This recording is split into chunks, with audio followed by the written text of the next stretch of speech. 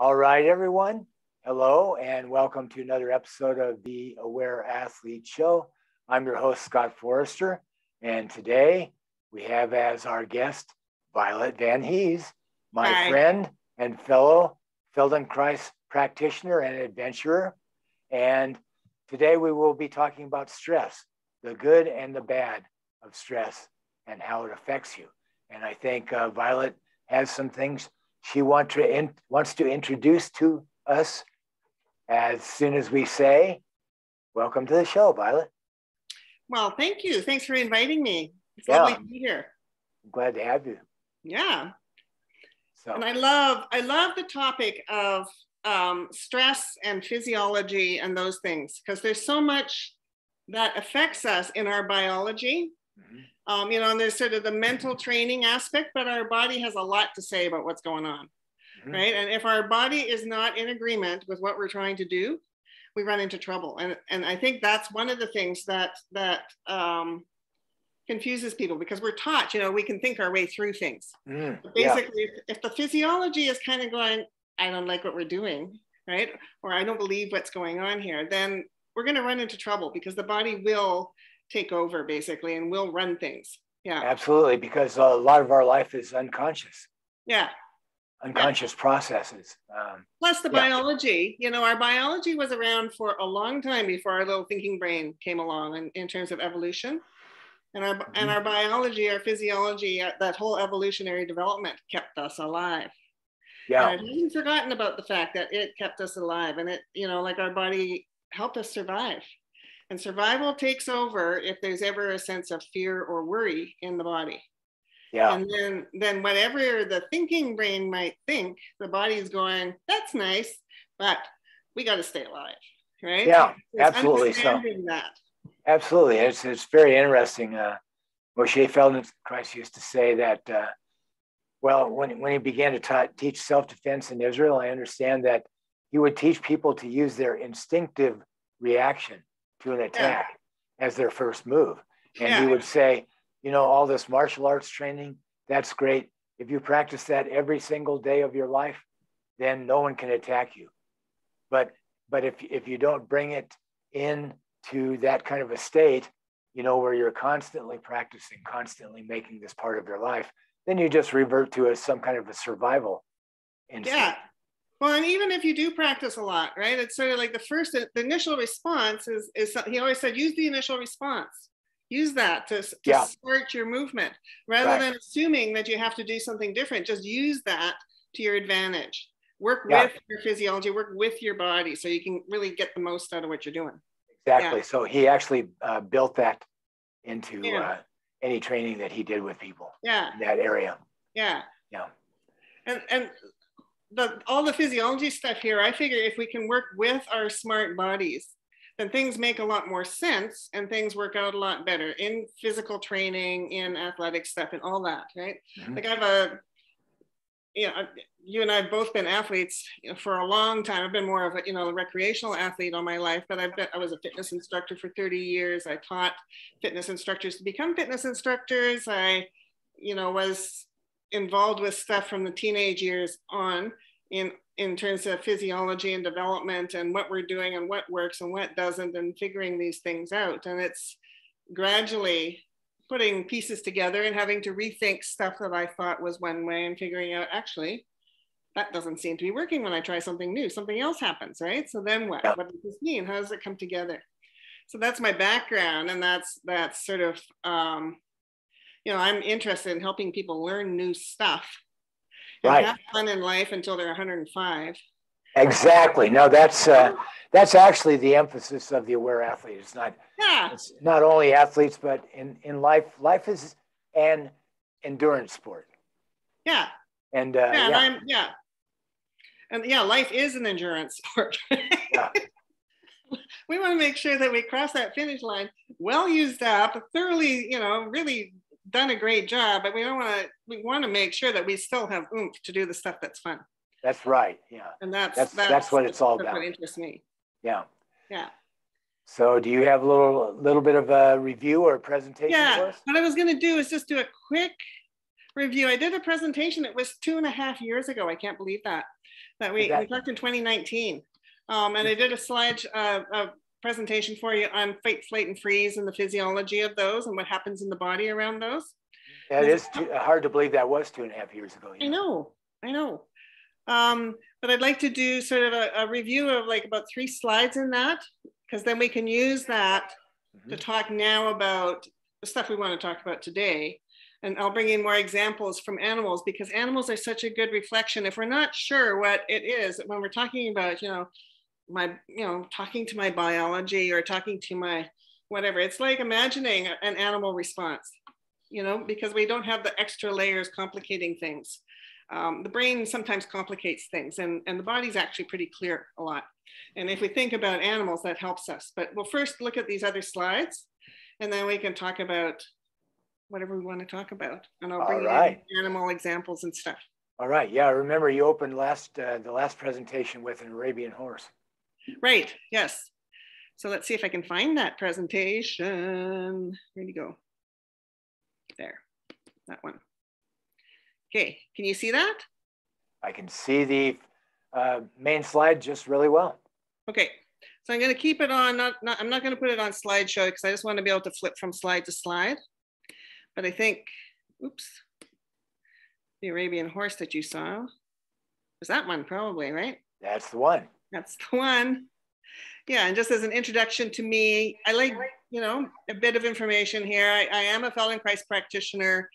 I was a teacher. I worked in government doing policy work for a long time, but I've been mostly for what matters here is a lifelong person interested in how do you have fun in life? How do you do the things you want to do and do them well and uh, learn to do them well easily, right? Right. So that we can do things and feel at ease while we're doing them. And so that's been a real big interest for me. And one of the things that I got into with that was really looking at the physiology and looking at the polyvagal theory was one of the things that came up. You know, the work that Stephen Porges did, where he's looking at, you know, we, we're either in a state of wellness where everything is well and everything's going well, or we're in a state of response to danger. And our physiology is very different in those two states. In the response to danger, we fire up all the stress chemistry, our uh, nervous system goes into a different track our um, rest and recovery kinds of things like digestion and immune systems and uh, hormonal balance and so on. That stuff sort of goes on the wayside, and we just do stuff that we need to to stay alive and deal with the immediate situation. And we've, you know, we always thought of our responses as being either sympathetic arousal, the sympathetic nervous system fires you up for action, mm-hmm. or um, uh, calming down, parasympathetic, but Stephen Porges, Dr. Stephen Porges said that actually it works, the, the, the slowing down has two circuits. One of them that takes you into sort of the calm, relaxed recovery state. But if you land on the other side, instead, you can land in a, uh, what's called freeze in the physiology, where you get a dampening down or a numbing of sensation. Um, it's also a quieter state, but it's a stress chemistry state. Yeah, couldn't couldn't you call that uh, fear? well, yeah, it's a fear, but the fear can can result in either action for arousal mm-hmm. or it can result. So if it's in the sympathetic nervous system and you're fired up for action. Um, fear can fire you up for action. Yeah. Fear can also be so great that the basic response is to you can't get away, you can't run away, you can't do anything, you're going to just go numb. And the thing is that in life, there's a lot of things that take us. It's sort of like falling off the bridge or going off the bridge, right? You go from arousal, you, you go up, and then you can either land, come down, and go into all's well on one side of the bridge, or you land in a completely different country over here when you go into a danger response. And the danger response can be anything. It can just be, you know, that you're overwhelmed. And so, but you have to keep going um, you know, you got a family, you got kids, you got a job, you got whatever. And so you just put a lid on everything and keep going. But it's not in a recovery state. You're still running on stress chemistry on the inside. And that's the big difference here. And for athletes, if you want to recover, this is not the side that you recover on because this has got all sorts of adrenaline running in it. If you're there in the long term, you're running on cortisol, and cortisol is a catabolic hormone, so it breaks down the body um, rather than anabolic, where you're building up the body. Um, so you're breaking down here. You're basically running yourself into the ground if you're staying over on this side. Mm-hmm.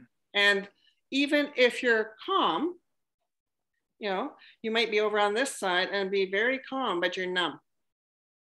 And your body is still in stress chemistry and not recovering. So that's where burnout can happen. And people get confused because they'll say, well, I, you know, I, I rested, I did stuff, but it doesn't feel like rest inside the physiology.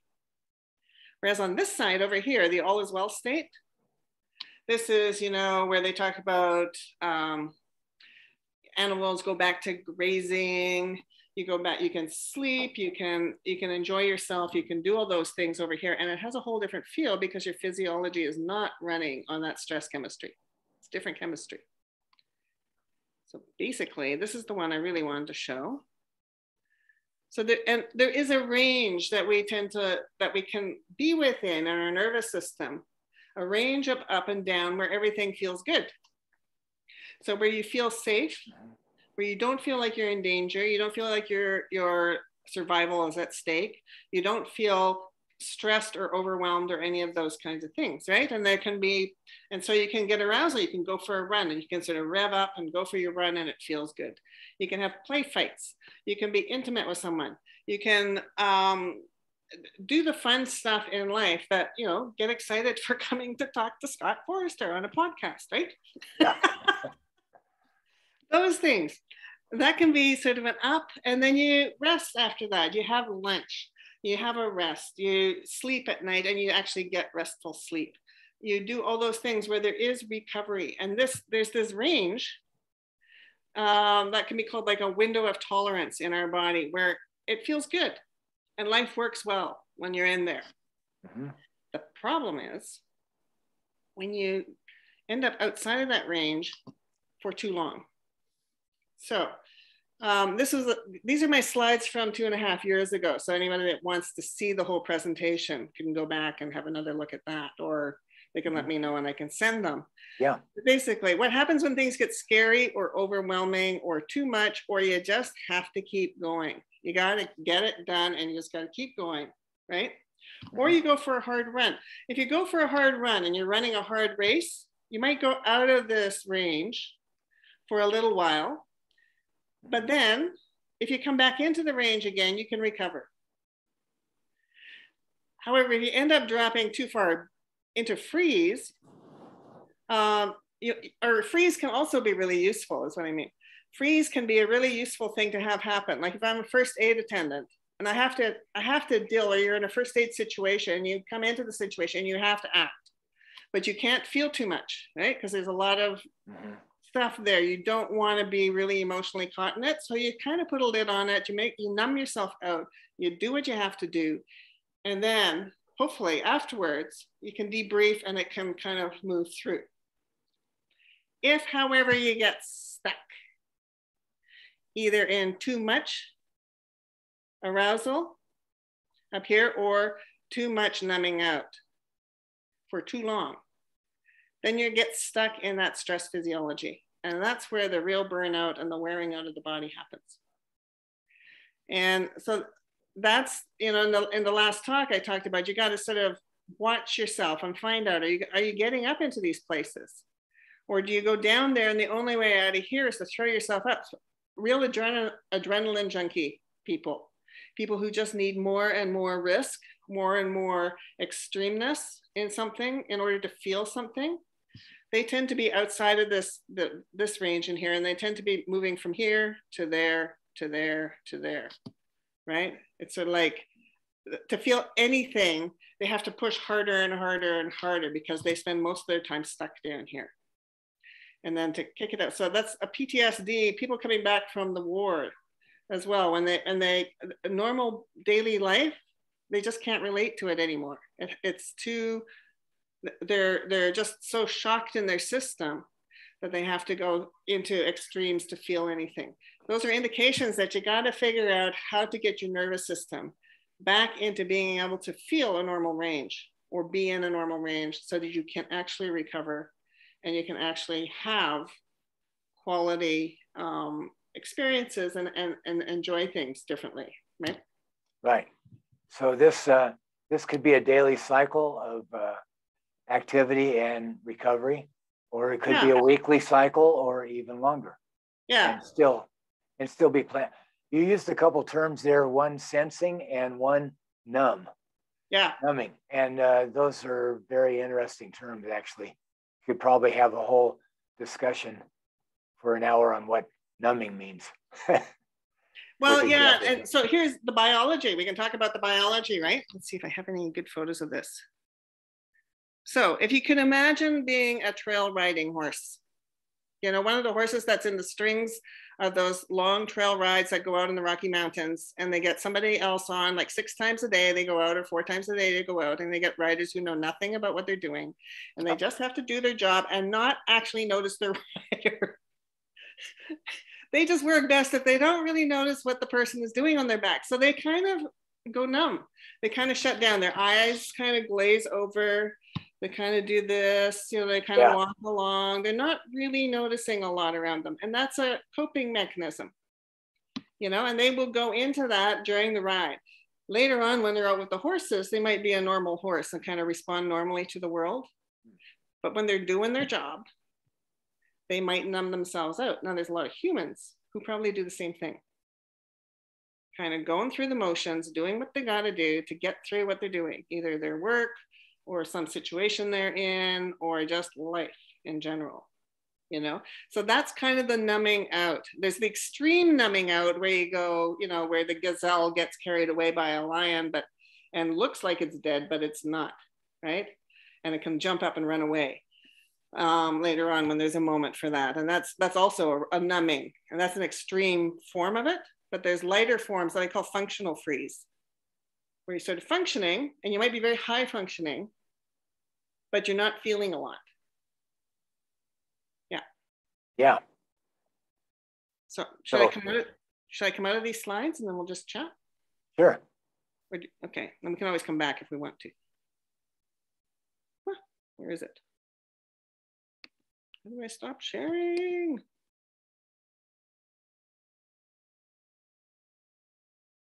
There. Okay. All right. I'm back. You are. So, um, what? Let's uh, let's talk about some examples of bad stress, of overload. Uh, what can you think of that are examples of that? Of overload? Yeah. Okay, so let's talk about overtraining. Mm-hmm. Right? Let's talk athletic stuff here. So overtraining, when people burn out from training too much, that's going to be because your body is not actually resting. You're not actually recovering in between workouts, right? Between runs, right? Right. Right. Yeah. So that's right. So, so your performance actually uh, decreases rather than improves. Yeah. So what happens is is all your normal hormonal levels, your your good kind of hormones that help you uh, do anabolic improvement in between workouts. The ideal is in a workout, you'll do some catabolic stress in the body where you work a little harder than, than what uh, you normally might. So you push the body a bit, and then the body goes, Ooh, I better sort of beef up a little bit here or sort of get the aerobic system up a little stronger so I can respond better. Right. That's sort of right. Right. And then if you rest, that actually happens. Right. But if you don't actually get a chance to rest, your body just kind of goes, I really should do that, you know? Really would be good to do that when I get to the place where I'm resting. But in the background, there's this buzz. So uh, you overtrain partly because you're really not aware of what you're doing. You don't know what you're doing. Yeah.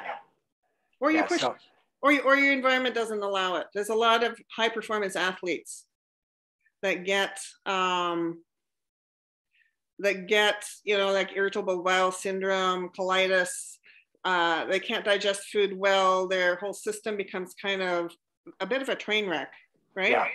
But they're pushing to train, and they're they're being they, they feel they need to this way. And the psychological stress in, in, in addition to the physiological stress will add to this.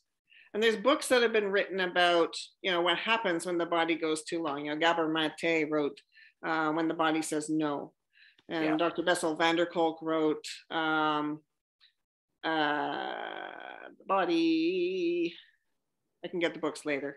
When we got a minute, I'll just run and get. There's three of them that I yeah. Use. And there's you know the the polyvagal theory talks about what's going on if you don't get a chance to actually rest in the good rest. Right. So the body, the body uh, keeps the score is, is Bessel van der Kolk's book, right? So uh, you say the environment doesn't let them. So actually, I think uh, one major factor in, uh, well, it is just an aspect of what you're talking about, the major factor, is uh, overload is caused by not being in touch with the body. In other words, yeah. it's, it's uh, caused by could be caused at work. That's one of the major causes. Uh, external expectations, whether you accept them or whether there's placed on you and you kind of try to meet them. Uh, unrealistic goals and uh, uh, things things that you try to do that you can't do that you never had a chance to do. Yeah. Uh, yeah. So you just keep you keep pushing for the impossible and, you know, we're driving with willpower you know willpower you is one of the you're pushing yourself to go do stuff continuously instead of allowing yourself to come into a place where you can be pulled into it kind of like it's it's easy to move into it right you keep pushing yourself into that stuff that's that's that's usually an indicator that something is getting worn out that probably there's there's a, a wearing out that happens yeah yeah and, and a lot of times that's caused by external circumstances you can think of being at work you could think of being in a prison camp. Yeah. Where you're pretty much going to do what you're told, yeah. unless you want to die. Yeah. And uh, and it could be that you started this, you know, like like a lot of people when when in I, I've also worked with looking at how trauma sits in the body, you know, and and for a lot of people, we grew up in families who were pretty wired. The whole family system didn't actually sit in that middle range that was good. They kind of ran at on a high wired energy, right? Yeah. If you're born into that, your little physiology is kind of going to go, I'm totally reliant on everybody here. I'm dependent on this. I better match it. Yeah. Okay? So you learn to match that, and then your survival, your body recognizes that's where I have to be to survive. So it does that yeah. even though it's not a recovery state. And so, actually, finding safety or noticing in your body what safety feels like or what feels good is a really foreign, weird thing to do. So, that's I just want to mention is. this to people who are who are out there who kind of this feels normal. Or whenever somebody, you know, they've been in a yoga class and yoga gets to the last move and everybody gets to lay on the ground and just relax and have a good time and everybody else looks like they're having a great time and you're laying there going, I think I want to explode, but I'm just going to lay here because I don't want to look like an idiot, right? Yeah, yeah. But your whole that's your body telling you that it doesn't actually feel safe in this moment to go into a slowed down state, or it doesn't know how, one or the other. Yeah, but that's that, your body talking to you. Like I say, that can start with uh, childhood experiences. Absolutely. And it, and it does because there you're under authority. Yeah. And then that carries over into culture you know, our, our general cultural expectations, they say, and of course, we're used to this. Right? I'm used to being an American. but they say that uh, Americans uh, work harder than anybody else in the world, um, more hours or more. You know, I don't know. That's what they say. I haven't lived anywhere else. But I do know there's a lot of things imposed on you at work. Yeah, I, yeah. I hear uh, stories of people bringing lawsuits uh, about uh, companies not allowing you to take a break, or even it's hard to find time to go to the bathroom. And I thought, oh, that's your lawsuit? That's the way it is everywhere all the time. yeah. Well, and, I think there can be lots of different things, right? We also impose it on ourselves. Right. But, you know, I grew up in an ethic where if it wasn't hard, it wasn't worth doing. Right. Right. And so that becomes sort of a belief system in the back of your mind. And right. Right. And so that's where you know, working smarter, not harder. It's a nice idea, but your body's going, no, that's not right. I should be working harder because otherwise it's not worthwhile. yeah. Uh, yeah. So rather than learn uh, anything that makes push-ups easier, there are some people that think that if if you're taking the easy way out, you're not doing the right. Yeah, thing. exactly. Yeah. That's a, that's a, one of the funny things with Feldenkrais, right? Because when you actually find the, the easy way for your body to do stuff, first of all, you'd hardly notice it because it's easy. And then you're kind of going, well, it should feel hard. You know, yeah. if, if it's if it's if it's like a, a performance thing, it should feel so learning to run easy or do a push-up that feels easy. Or a sit-up that feels easy. Like that just it's like, what? yeah, that's that's a major challenge to our culture and to ourselves yeah. and to our self-image. And uh, and it hit me hard when it happened. yeah, it really did. It really changed things. But I, I wanted the change because I wanted to continue to do what I like to do. so when you say that it hits you hard, tell me more. What just what do you mean by that? Well, see, uh, I would still like to do some of these things, but uh, part of it's just being young. But as a young person, I, I still kind of liked, you know, this kind of thing. But as a young person, I would, uh, I remember I was working with another young guy in construction and we would carry floor joists. Well, they're all piled up in one spot. So, like, I'd carry four of them to the back of the house and then he'd carry five. And I'd carry six. Right. And he'd carry seven. And I'd carry eight, you know, and then we'd be done. yeah. Yeah. And, and it was friendly. I mean, it wasn't like, you know, boy, I'm going to beat him. It was, yeah, it was just the way. Well, yeah. And there's, there's the competition aspect of that, right? But it's it's actually really satisfying to feel strong. Yeah. Right. But, but it carried over into the bull in the China shop impulsive action, hmm. you know, type of type of thing. So yeah. Uh, so, you know, I still like to carry heavy weights. Yeah. But so yeah, but uh, but giving up the idea that you have to do everything uh, out of strength. Yeah, or or notice for me, it's noticing strength in a different way, right? So I can still lift a canoe on my from myself. I can lift my solo canoe from the ground overhead, put it on my car. Yeah. Um, and stuff like that. And I feel I'm happy that I can do that. Mm-hmm. And it's, that's very I've important. Learned to, I've learned to do it in a way where it's not it, it's not hard. It's it's technically it takes some skill to get it. But if the work transfers through the bones and gets into the ground, I don't have to have big beefy biceps to do these things. Right? Yeah, you've got your whole body to lift it. Yeah. Yeah. And for me, it's really satisfying to feel strong. Um, and it's actually becoming really interesting to feel strong in ways that are really efficient because I can do stuff that other people can't. And I don't feel overwhelmed by the work. Right? And so that's how i'm shifting you know for people who are like you know who are, who are like us it has to be hard. It's yeah. It's like okay this is shifting around now but i can figure out how can i still do this as i'm turning into an older dame along with my horse. My my old horse and i go off and do old dame things together. But, yeah. um you know but still do the things. I'm learning to surf i have to learn how to surf differently than i would have learned to surf 30 years ago because i have to be much smarter about it now and figure out how do I do this so it actually feels easy. Yeah. Things like that. Yeah. Yeah. So uh, even uh, we were talking about martial arts earlier. Uh, it's good to learn martial arts, and some people will learn them so much so that they that becomes a part of them. Yeah. For sure, and so that they would uh, they would tend to have a better response to a confrontation than someone has no idea what to do you know, that just screams and throws up their hands or something. Yeah, yeah. And uh, so all that training is not in vain. Uh, oh, yeah, exactly. Yeah, you can. More variety. I, I find the more variety we have in learning how to respond to the world, the safer we feel too, because then we, we can respond in whatever way is called for in a particular right. situation. Yeah. Right. And that's very much so with martial arts, which was a big part of Moshe's uh, yeah. lessons that all those thousand lessons that yeah. he developed. Uh, learned a lot from them, and he learned a lot about leverages and making things easier and responding faster and having different options. And he, so it's a it's a big thing going along with that martial arts and learning skills and learning skills to lift the uh, the canoe or the kayak or whatever it is you're lifting.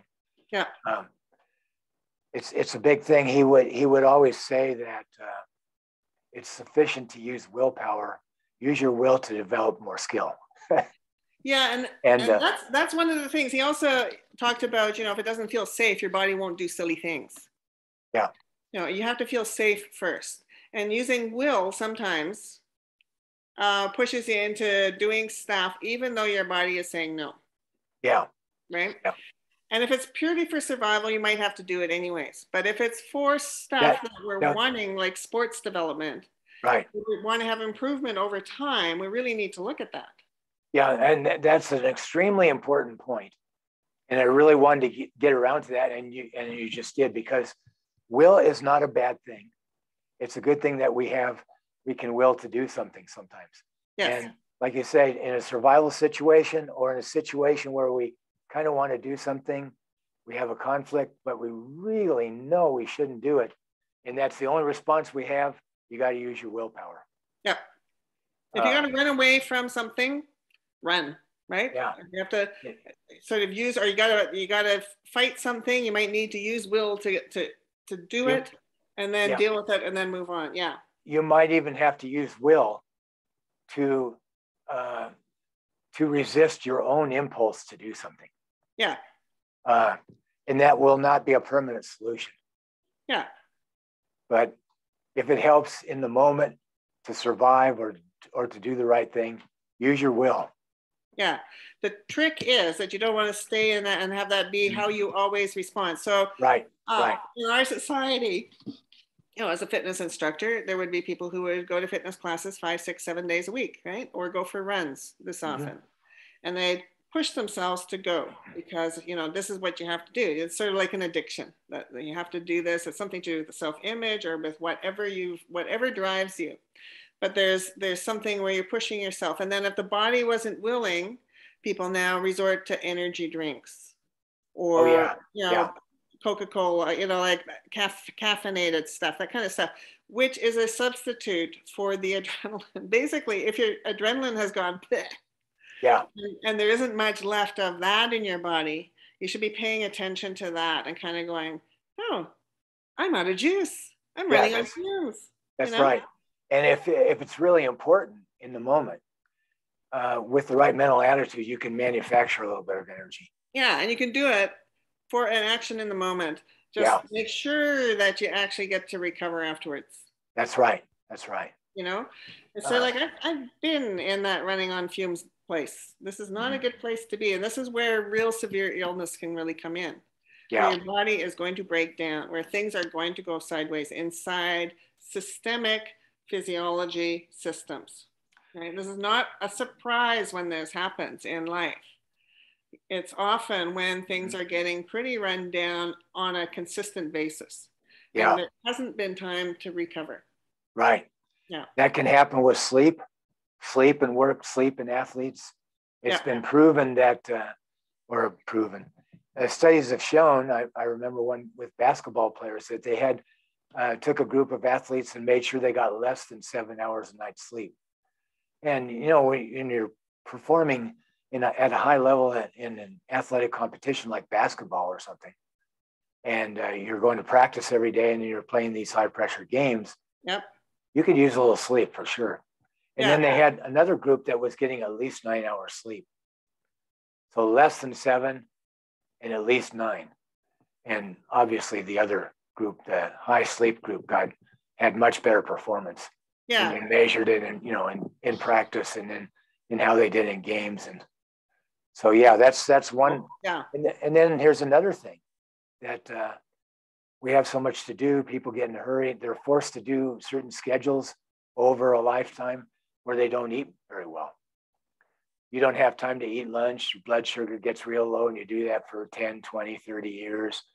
Or you only have time for a really quick meal. It's not, you know, just those Yeah. types of things are very deleterious over a long time, I think.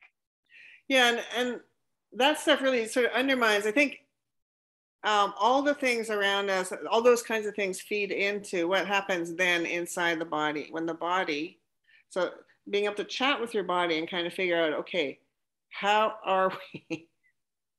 right? And checking in. How am I doing? And, and a lot of people have no idea how to check in with their body because that's sort of like just a foreign thing. So the brain goes, I'm fine. Everything's fine. I had breakfast. I had, you know, I was in bed for eight hours. Did you sleep well? No, but I was in bed for eight hours. You know, like it's it's it's sort of like not paying attention to what's going on here. So I invite people to kind of imagine having a conversation. Actually, have a conversation with, you know, the gut, and then there's a big vagal. The, the one of the vagal nerve complexes is here. One is in the gut um, there's a there's an area in the back of the the the, the base of the the, um, the brain stem here. You can talk to these places in your body and just sort of ask, how are things? What do you think? You know, ask yourself, what do I think in all these different places? Because my brain might be thinking one thing, but the body believes what the body experiences. So, and the body's had enough experience with the you know smart ideas from the brain that weren't so smart in the long term to kind of go, you know what? I don't care what I think. I care what I feel, what I what I actually experience. So this is where when we want to switch something, if we want to switch and learn something new, or learn how to talk with the body, or learn how to pay attention to this, we need to give ourselves a bit of time and a bit of place to notice our experience. To first of all ask. You know, and I've had people that say to me when I've when I've you know, I say, have a chat with your body, blah, blah, blah, blah. And a week or two later, they come back to me and they say, you know what? My body actually talks back. And I said, what does it say? It says, yeah. How polite of you to ask. Thank you. Uh, yeah, that boy, that's exactly right. Because right? we just we who's ever taught to do that? Yeah. Generally. And you might not yeah. like what, what comes back, right? Because the body might be saying, no, don't do that, right? The brain says, I think we ought to go do this. And the body's going, uh-uh, yeah. Or I think this is a great idea, and the body's just glaring at you, you know, and it's sort of like, are you nuts? Yeah. Yeah. So you, oh. then you then you realize that you need more time to spend looking at your own self to figure out you know what's a good thing for me to do because if all of all of yourself can say yes your performance is going to be better your capacity to respond is going to be better your you're just going to do better at what you're planning to do there. Yeah. Yeah. So uh, let's look at this in terms of uh, training.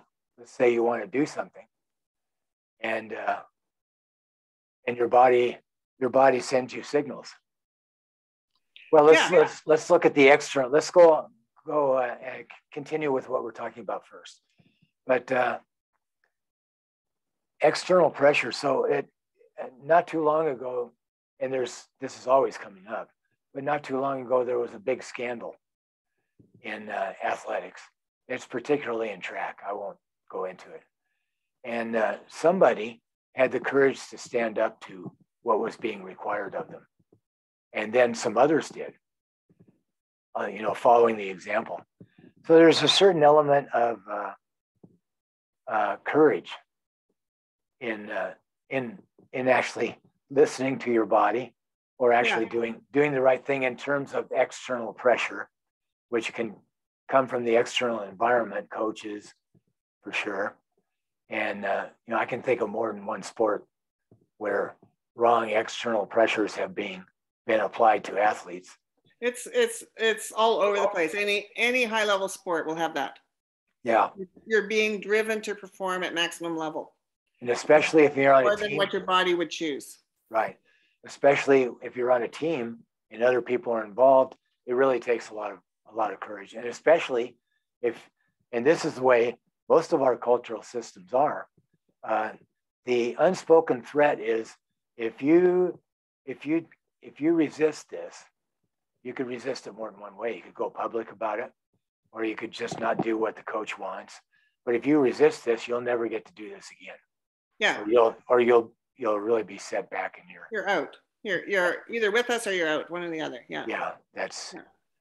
and that's the way it is. So there's an element of courage, and it reminds me of the story of Moshe eating bacon. Do you remember that? No, I don't. Oh, you don't? No. Well, uh, he was determined to put aside all the cultural bias that was placed on him as a Jew. Oh my goodness. Okay. and so he he ate bacon, and I've heard a couple different accounts. I read his biography, and and somebody else talked about it. But uh, he ate bacon, and then he had the urge to throw it up because it's so against his culture. Yeah. And he shouldn't do that. And all this is ingrained in him. Yeah. And so he said, if you do not eat this bacon, you will never be able to make another free choice in your life. So he got some more. and He ate. Now another one person said a homeopathic dose, but it doesn't matter. Yeah. And go ahead. Yeah, I think I think it's really interesting to look at to, to allow ourselves to look at what constrains us or what drives us. Yeah. You know, what is driving, and it can be my own judgment of myself that can drive me. It can be external judgment of me that can drive me. It can be a lot of different places, but it's becoming familiar with that and deciding, will I let that drive me? If you're able to, if you're in a situation where you can do that, it's very difficult in some situations to do that, right? But if we have the choice, what do you choose to do? Yeah. And at different times in our life, we might choose different things. But the cost, there's a big cost. So back to the physiology. If we keep doing stuff that wears us down or that goes against what our body says, there's a cost. Yeah. And that cost is going to be eroding health over time. And so those books that I talked about, you know, the body keeps the score. Um, and when the body says no, there's a bunch of other ones talk about the types of costs that have yeah. been seen in medical science around not listening or continuing to run in that stress physiology? It's interesting because there are costs either way. And yeah. Uh, yeah, if you stand up to the system, there's a cost. Yeah. If you don't stand up to the system, there's a terrible cost. Yeah. And so, which cost do you want? yeah. Yep. Yeah. It's a big, it's a big thing, and it's um, and just know that there is a cost to the physiology, right? Right. and, and take that into account as you're weighing the different things. So there's a number, I know a couple of people um, who were in really high performance sports, mm-hmm. you know, cross country ski teams, those kinds of things, who just decided the cost was too great. They would let it go, they would do something else. Yeah. There's also a matter of uh, prioritizing. What would you say about that? In other words, uh, uh, not prioritizing and trying to do everything in the world can cause a lot of stress. Yes. Yeah. And uh, you might be able to do exactly what you wanted to do if you don't do a few other things at the time. Yeah, and it's it's sort of like not being super mom or super dad or super whoever, mm-hmm. um, and also having the experience that if you take some time off so this is for people who who are sort of managing their own their own like if you're a runner who's managing your own running schedule or or whatever you end up having some time off. Maybe you had an injury or something and you come back and you're better. You actually perform better when you come back. It's paying attention to that and going hmm that's weird that's not yeah. what I expected because I was working out every single day or you know seven six times a week because I thought that was the way to get better faster. Yeah. Yeah. And it's in part finding out maybe that's where the whole thing work smarter not harder came from, right? It's like maybe there are some smarter ways to do this. Yeah. And there's and and and one of the things that Feldenkrais work works with and that um, actually a lot of athletes do work with, but I wanted to talk about it, is working with intention and working with imagination. Oh, yes. Right? Because I yeah. wanted to come into this because there's ways to practice stuff or to look at stuff and to try things out that don't tax your body, but that give your body a visceral experience uh, as if it's experiencing the real thing. So, one of those things is imagining doing activity, but in your muscle imagination, in sensory imagination. So it's not like visualizing and sort of from here up imagining. So skiers, if a skier is going to go do downhill run and they're imagining the slalom course they're going to be going down. Yeah. You can see them when they're standing there and they're kind of doing little mini moves and they're kind of leaning and doing this and doing that. Their whole body is feeling that course and preparing for that course. And it's in the physiology and it feels like real experience in your body. Yeah. And in our Feldenkrais lessons, we'll do that. We'll sometimes do a movement on one side of the body. You know, so we might, for example, like if we're um, practicing just looking over one shoulder, right? We might look over the shoulder in different ways. We might have done a little, we can do this later if we want to, you know, see how far you can go this side, that side, and then you're just kind of doing a few little moves. Move the head, move the head and shoulders, keep the shoulders forward, move the eyes forward. And then you find out how can you move? Is it different? And then you imagine doing the same thing to the other side. And the thing is with the imaginations, you can iron out all the wrinkles. Yeah. So you can make it super smooth and super good and all those things. And then you try it and you find out, oh, my body learned something by imagining.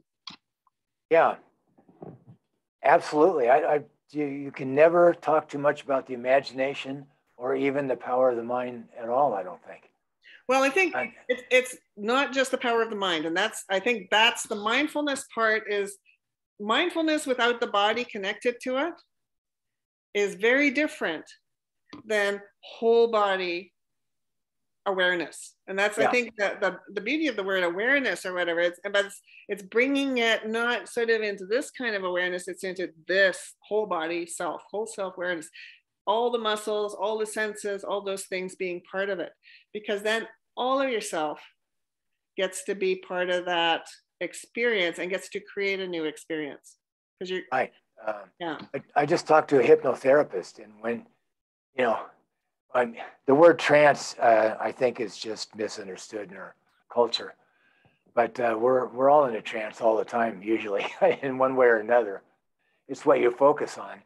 And uh, as he actually did a little bit with me, uh, he, uh, he brought in the whole experience.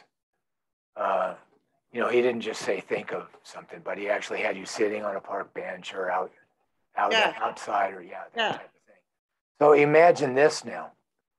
You're going to go through all the movements of going down this particular slalom course, which I know nothing about because I've never skied.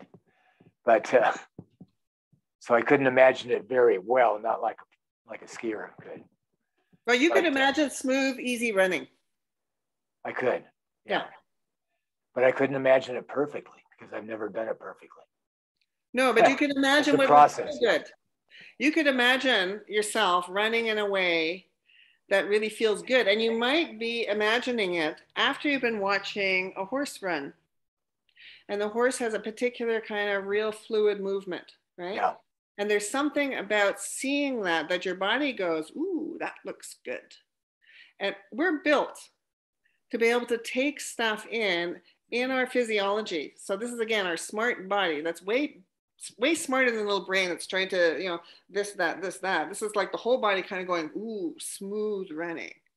Yeah. Yeah, no, you've got a picture of it. And I think uh, uh, endurance trail runners, uh, I don't know about everybody, but probably, but you like to think of yourself as uh, as free as an animal that's out yes. there. There are some endurance animals and some animals that are not so much. Yeah. In terms of the miles they cover, but a dog, of course, might be one of them. Yeah, they can and trot. A, a horse can a trot horse. for 100 miles. You know those kinds of things. Like, yeah, and, and yeah, and being yeah. able to bring that that kind of imagination into you as the quality of the movement. Then your oh, body yeah. does something with it. You don't have yeah. to think it. Your body does something. We have mirror neurons inside our body. We have physiology in us that's that's built to mimic the quality of something so that we can see what it's like. Right.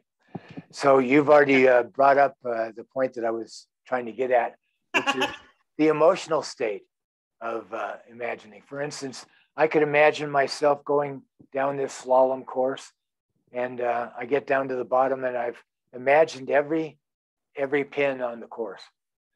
But what if I did it? What if I imagined enjoying every turn? Exactly. And I was yeah. just in control of the experience and then I could even imagine a mistake and still enjoying it. Yes. Getting up, you know, you can all, so the emotional state, very powerful.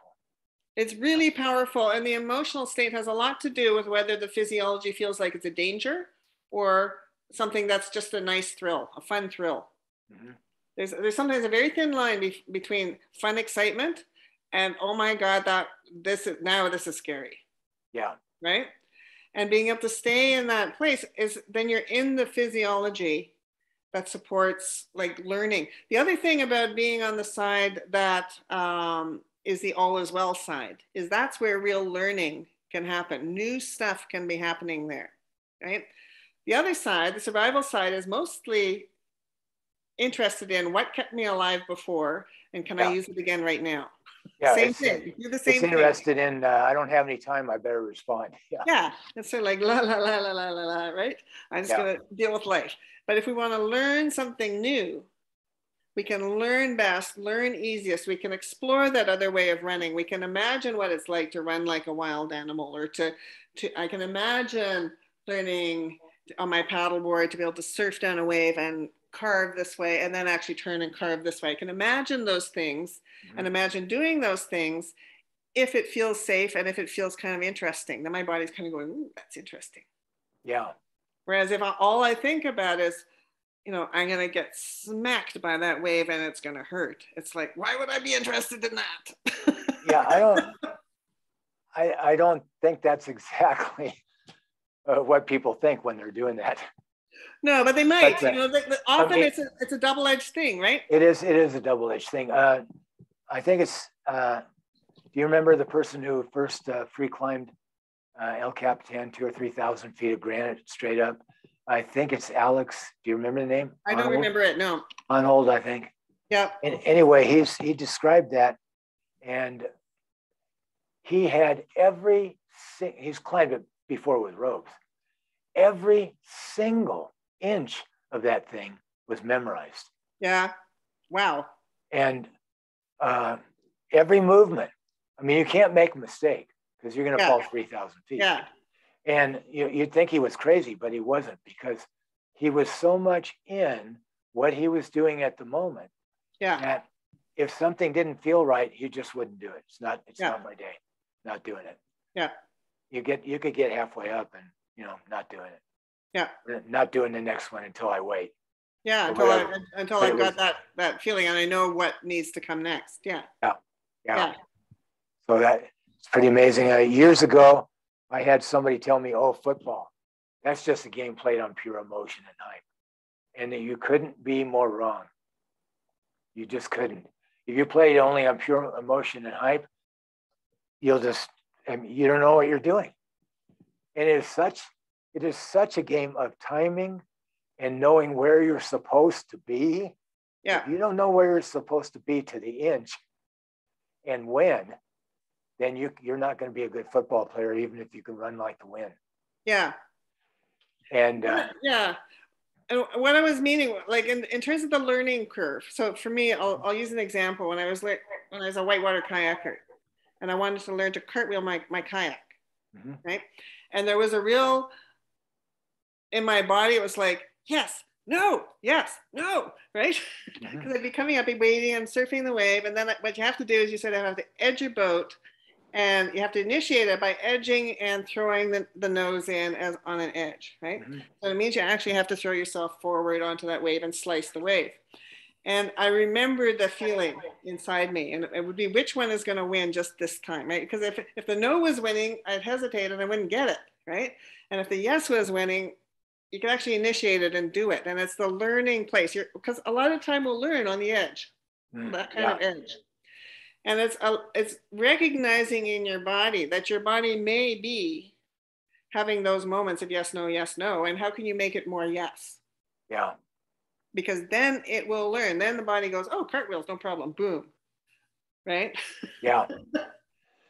so, so let's talk about the, uh, the cognitive and the unconscious minds. Sure. We, we know that uh, um, if I raise my hand up like that, I have no idea how I did that.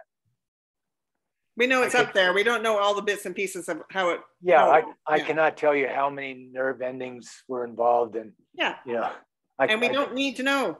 We don't need to know. If it's better if we don't, we're so much more magical if we can just do that. Exactly. Uh, so I don't know how I did that. So all all movement that we do well or that we've successfully learned is unconscious.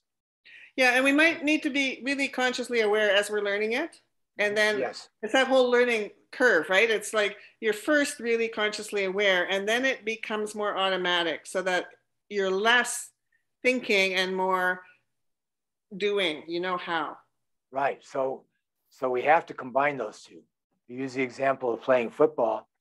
Uh, if you come, the quarterback comes uh, up to center or in the shotgun, whatever he is, and he looks over the defense. Now, the reason he knows what the defense is doing is because he studied it all through the week when yeah. he had time. And he studied it for years.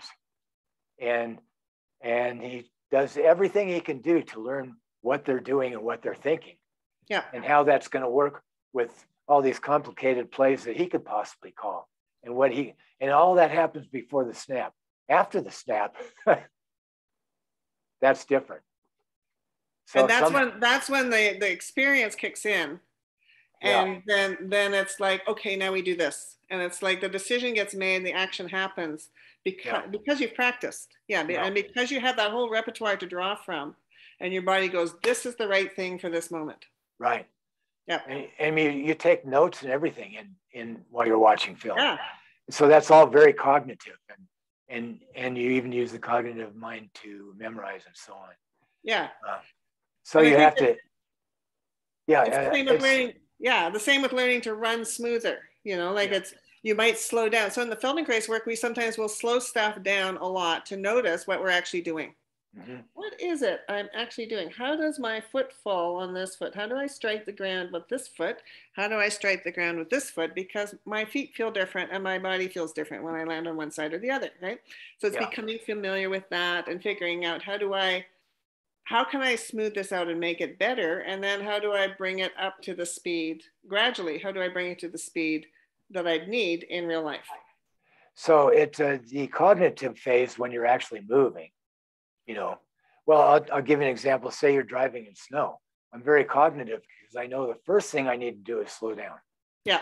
That's very cognitive. Yeah. And I know also if I'm going to turn or stop, I need to slow down more. Yes. After that, it's just, you know, really, really keeping your eyes on the road. Yeah, and we're much more aware. Like as soon as they have to pay attention, like all the attention is here. We're very present. Yeah. And then it's then it's a much more aware process. It's not in the background. It's very foreground. Yeah. It's almost like background and foreground. Yeah. You know. So it's and, a real integration of the cognitive and the unconscious. Yeah. Yeah. Yeah. And if you don't uh, pay attention to the unconscious stuff, if you don't, if something's not going well, like if people have plateaued, or if you're you're going downhill, or if some somehow, you know, when I run, I feel like I'm really slogging, and this other person feels looks like they're just prancing along like a gazelle, looking totally happy, right? And it's like I have to pay attention to what I'm actually doing it's the Moshe thing. If you if you know what you're doing, you can do what you want. Right. So first of all, you have to figure out what am I actually doing, and then I can start to change it and play with the smartness of the body in terms of how to change it. And it has to be a change that includes all of me so that I can build new patterns. Because if I don't build with all of my physiology sensing the new pattern, my body's going to have none of it. Yeah. just do what it knows yeah. unless it feels a new pattern come in and go, hey, that actually works pretty good. And I like the feel of that. I'm going to do more of that. Yeah. And then the physiology is on board. Yeah. Yeah. So the cognitive part, if, if you're talking about movement, is always the uncomfortable part. Yeah. It's it's much more comfortable after you've kind of learned how to do it. And then you can always take that back to the drawing board if you want to if you want to do more. Yeah. Learn more.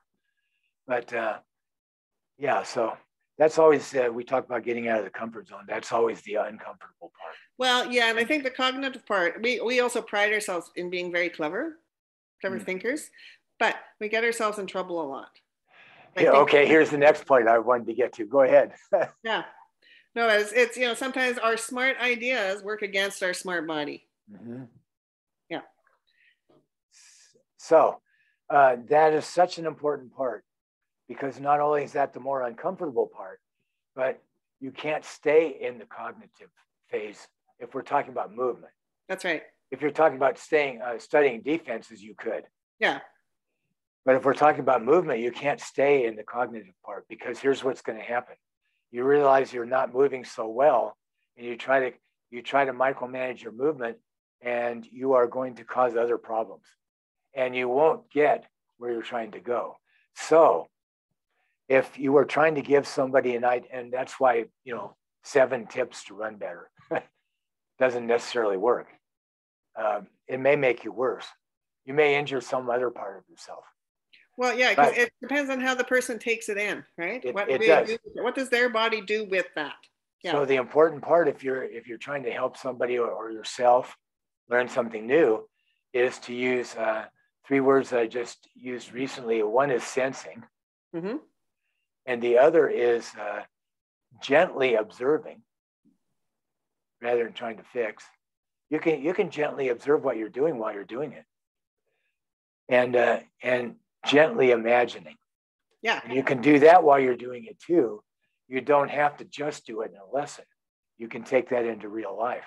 You make you make your changes that way, or you or you uh, you know you make your changes that way rather than just forcing yourself to do something different or Yeah. or change change your muscle tension or something like that. I think that's And, what uh, makes it real when you take it into life and you see how does this work? Yeah, You know? exactly, exactly. So, you know, so in a lesson, maybe you learn something interesting. I know some. Oh, I love.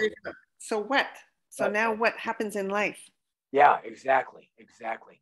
I know some high level people who have just a little bit of experience with Feldenkrais, and they can't necessarily see how you could ever take that directly into something. Even maybe you get an awareness and it helps you running, but how could you even directly take these principles right into the moment when something needs to change? I had one one client who was great. Uh, he was he was pretty funny. He loved golf. Golf Yeah. was his thing. So Yeah. we do whatever we did, he would translate that into something that could help his golf game or do something, which was great. Yeah, And so then he'd tell me next time about how he'd figured out this would, you know, affect this, that, and then he came in one day, And he says, snow shoveling. He says, I could throw snow halfway across the lawn. yeah, I never used to be able to do that. And he'd, he, he'd figured out that the thing we used that also was his golf swing was suddenly now letting him just that's right. across the lawn.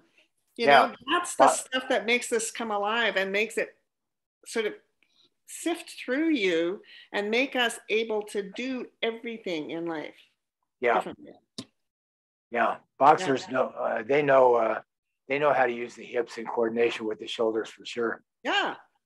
Yeah. And uh, yeah, I saw a, a training video of a of a quarterback. I can't remember which one it was now, but it doesn't matter.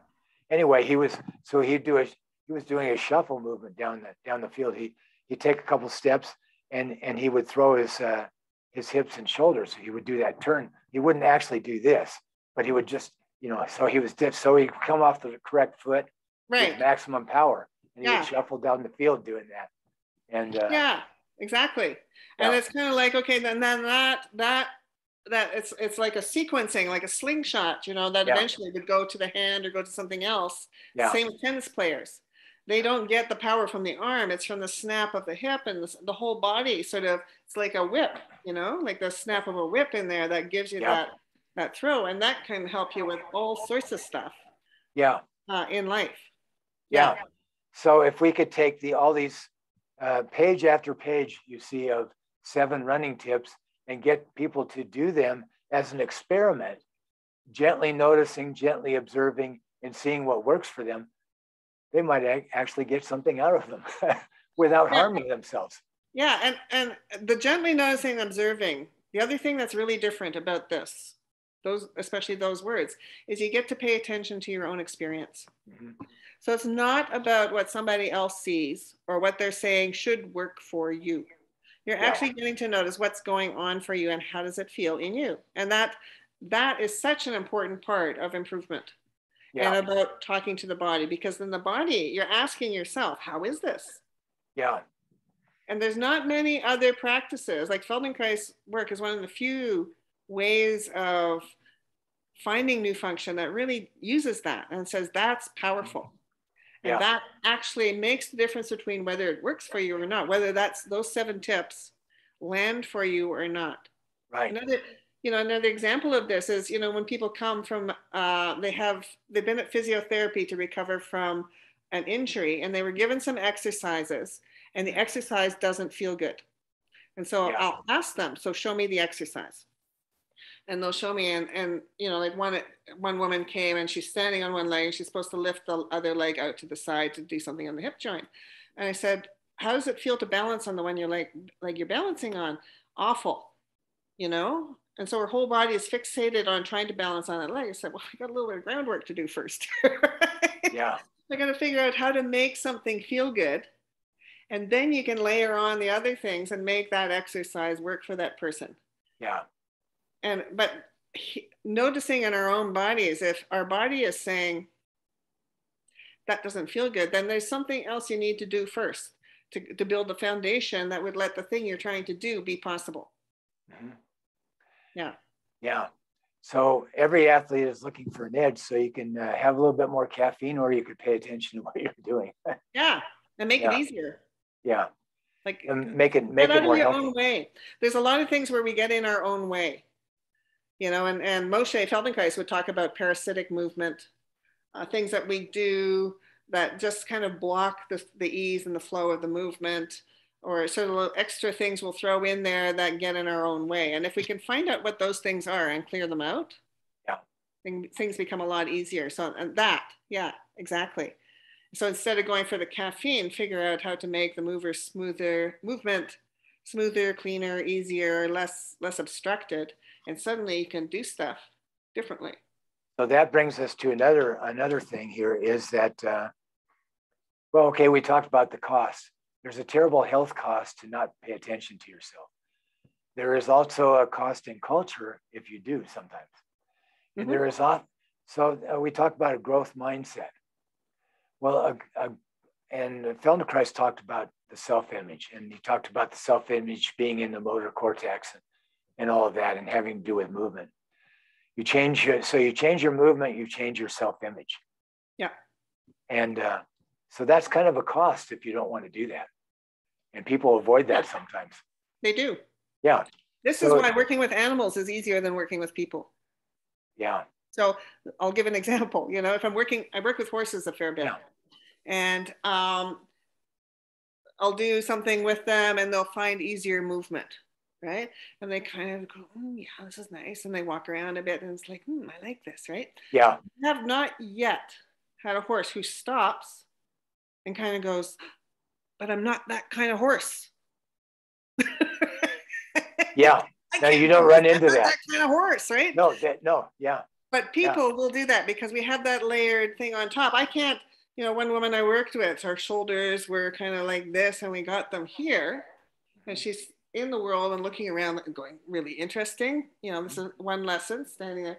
But then you could kind of go, oh, but I don't, this isn't how I am in the world. I'm, you know, and you could immediately see her go yeah. back here because this is what she knew and this is who she was in the world. Yeah. So the self image has a lot to say mm-hmm. about whether you can change or not there, there is a realization about yourself that you can yeah. have from that, from just lowering the shoulders. Yeah. Or just uh, being here rather than here, right? It's a very different way of being in the world. Yeah.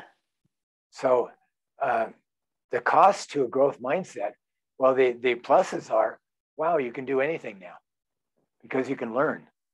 Yeah. And I have seen people very, very restricted. And I know from my own background, my own family background, that I was terribly uh, handicapped and restricted by not having that growth mindset because uh, my dad was like, uh, you know, you don't want to say anything because you don't want to get anything wrong, type of thing. I mean, yeah. that's that's him in in very brief, but yeah, because he was also a wonderful person, but but uh, there's that there's a real constraint there, right? And so you'd be very yeah. aware of that, yeah, and you're working so, within that to stay safe. So yeah. so so to uh, the cost there of a growth mindset is a little uh, a blow to the ego. you have to be willing to be a little flex, more flexible now, instead of hanging on to all the all the false protection that was actually limiting you. Which well, brings us. Yeah. And it's checking out whether the new thing is safe, right? Because again, what you want to ask oh, yeah. yourself, you can and you can try things out in little tiny bits right? So probably for the woman that went from here to here, this was too much at one time. Right? Yeah. And and so it could have been something where you know she could be here, and then at night when she brushes her teeth, maybe she could be here and there, right? Or in little bits, so that you get to try it on and you get to see whether you're okay. I mean, is the world still safe when I am like this? Can the world deal with me when I am like this? Can I deal with myself when I am like this? Yeah. And those are the questions. And can my family, you know, like, am I safe? That's the fundamental question.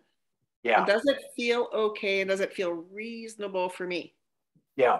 And that is and that is absolutely wonderful that you said that and said it the way you did because you cannot and should not change everything about yourself.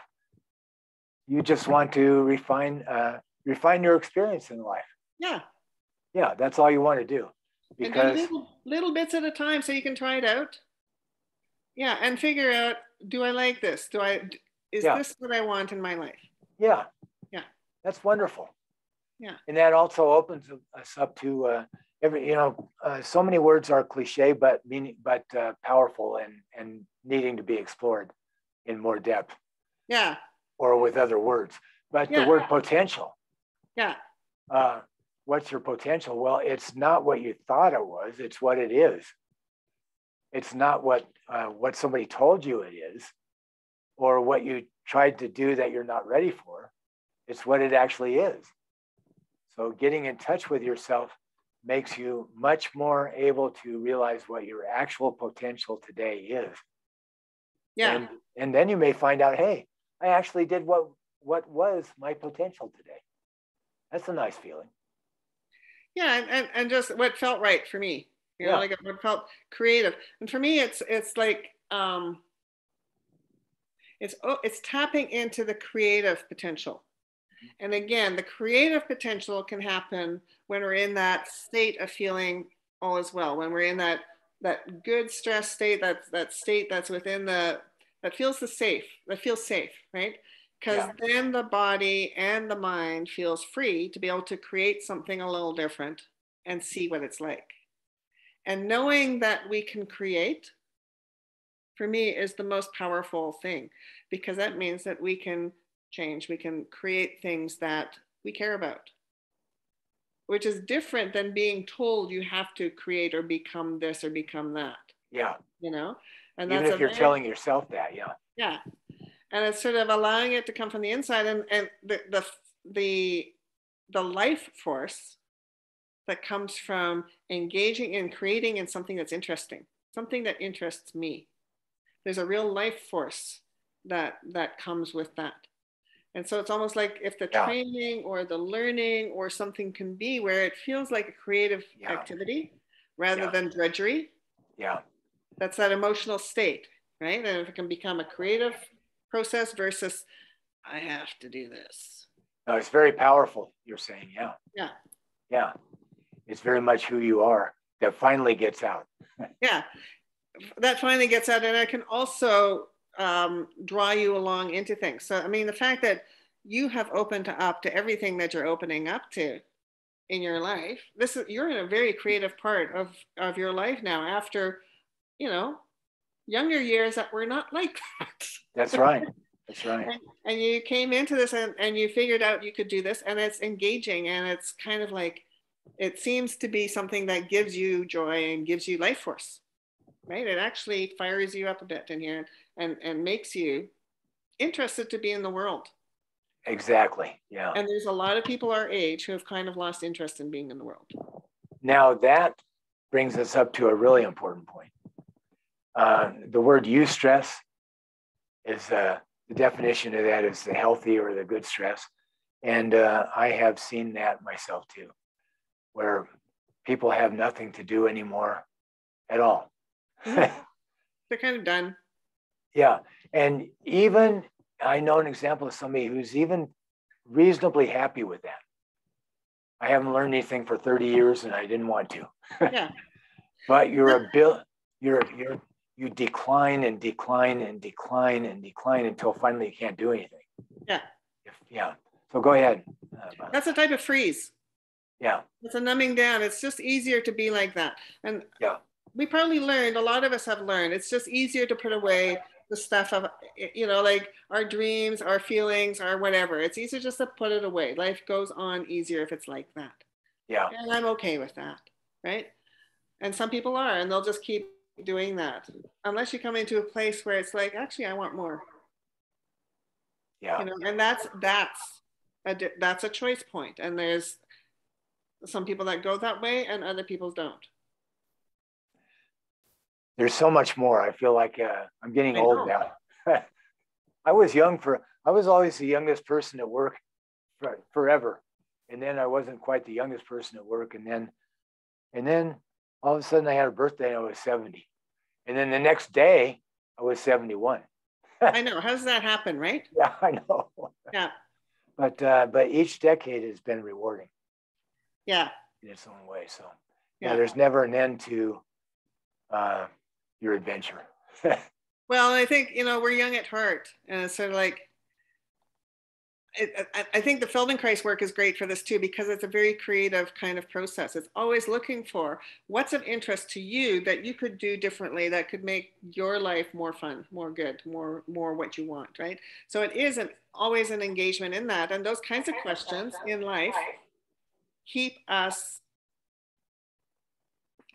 curious and engaged. And I think that is so important. Yeah. yeah. So, and it's always nice to, uh, to, uh, as you get older, you find out some of your friends have moved away or, or, or not here anymore. So it's always nice to make new friends too, Violet. Yes. yeah. Thank you for inviting me. This is, this has been fun. Yes. So do you have any final words? Uh, we're talking about life here. I know, eh? But but uh, do you have any final words uh, that you would direct to people who are living or people who are athletes in the cultural sense of athletes, not in the yeah. sense, the broadest sense? I think it, it really is like find the things that engage your curiosity.